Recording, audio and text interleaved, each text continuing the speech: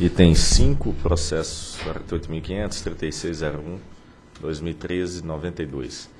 Solicitação da revisão extraordinária dos limites de duração equivalente de interrupção com unidade de consumidor e frequência equivalente de interrupção com unidade de consumidor da Companhia Hidrelétrica São Patrício para o período de 2013 a 2016. Diretor relator, doutor Divaldo Santana. Pois é, cara, você já atrapalhou aqui a sequência. Estava indo tão bem.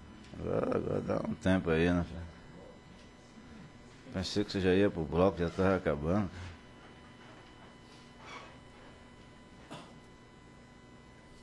Pronto, tá na mão.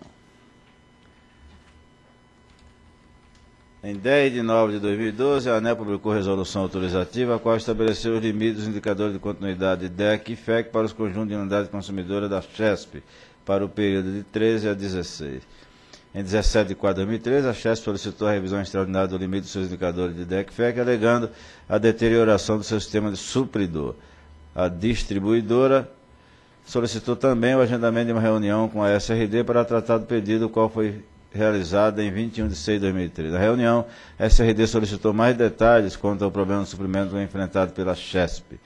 Em 25 de 6 de 2013, a CHESP encaminhou à ANEL as informações complementares.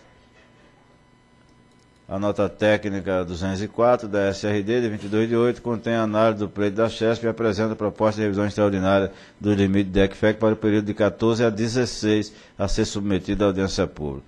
Em 2 de 9, o processo foi a mim distribuído ao relatório. Procuradoria.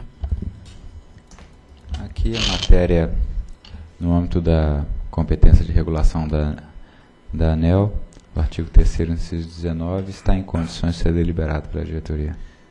No ano 2012, a CHES passou por revisão tarifária periódica, ocasião em que também foram discutidos os limites de DEC FEC dos conjuntos da distribuidora para o período de 2013 a 2016. Tal discussão culminou na publicação da Resolução Autorizativa 3.663 de 2012. Segundo a CRD, durante a análise dos limites de DEC FEC da CHES, ficou clara a deficiência do suprimento da distribuidora, conforme detalharam as notas técnicas 84 e 128, ambas da SRD de 2012, as quais foram submetidas à audiência pública 46.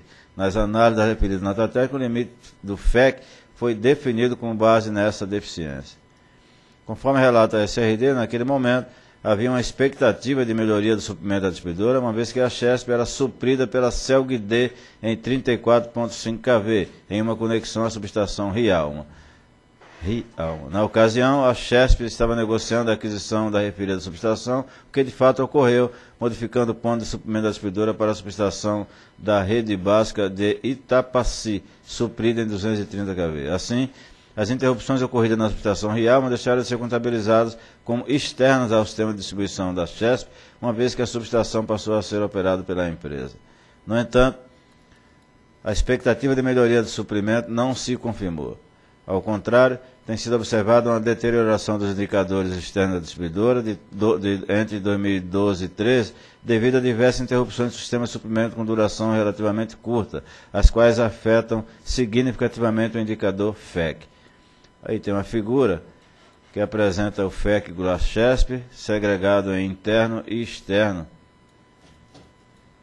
Para o ano 2013 é mostrada a média móvel, etc, etc. Então se observa que o FEC externo, que é o, o, o mais escuro, se considerar o, a, as interferências externas, externas, ultrapassa bastante o limite estabelecido.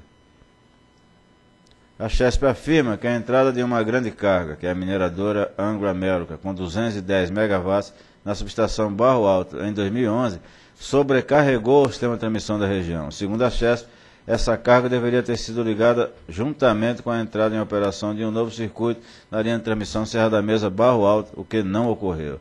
Assim, a Chesp alega que problema de estabilidade na linha tem provocado ocorrência de curta duração, com cerca de 4 a 6 minutos, as quais pouco influenciam no DEC, mas são contabilizadas no indicador FEC. Essa carga de 210 não é da Chesp, não, né? deve ser da. Ah, ok. Uma distribuidora tão pequena com a carga dela. Além disso, a distribuidora pontua que há muitas ocorrências motivadas por descargas atmosféricas que causam a interrupção na linha de transmissão Barro Alto e Tapaci, afirmando que pouco há a ser feito para a melhoria dos, atuais, dos índices atuais. Para a Chesp, A solução do problema apenas se dará com a entrada em operação do segundo circuito dessa linha, cuja energização está prevista para o segundo semestre de 2015. Embora essa obra está prevista para ser licitada este ano, conforme o edital de leilão transmissão 0713, previsto para 14 de 11. O edital está disponível para contribuições na AP 100. A linha em questão se trata do lote D do leilão, cujo, cujo prazo previsto para conclusão 30 meses. Em sua análise, a SRD avaliou que, relativamente aos indicadores de 2013, o preço não pode ser aceito, pois isso se configuraria, na, se configuraria na alteração de limites que já estão sendo aplicados. A área afirmou que os indicadores individuais possuem limites mensais, trimestrais e anuais obtidos de uma relação com os indicadores DECFEC que já existem compensações pagas aos consumidores por violação de limites mensais e trimestrais e outras a serem pagas com base nos limites anuais. Avaliou ainda a SRD que a alteração de limites durante o ano tornaria o entendimento dos limites das, das compensações a serem pagas bastante confuso para os consumidores, com o que estou de acordo. Com relação ao limite para os anos 14 e 15, a CRD entendeu que a situação do indicador FEC da distribuidora é realmente crítica, tornando difícil o cumprimento dos limites definidos pela Resolução Autorizativa 3663, dada a instabilidade do suprimento à distribuidora. Entretanto, a SRD afirmou que não cabe a elevação dos limites globais propostos pela empresa, tendo em vista que os limites do FEC da CHESP são os mais elevados da região do Centro-Oeste. Desse modo, a SRD propôs a manutenção dos limites de FEC para 2000, de 2013 para os anos 14 e 15, permanecendo inalterados os limites de 2016. Para o indicador DEC, a SRD concluiu que não há necessidade de uma alteração dos limites. E aí tem como é que ficaria agora a proposta feito, que é o FEC da. O verde é o FEC da resolução que hoje existe, e o laranja, mais à direita, é o que passa a ser. É apenas para o FEC.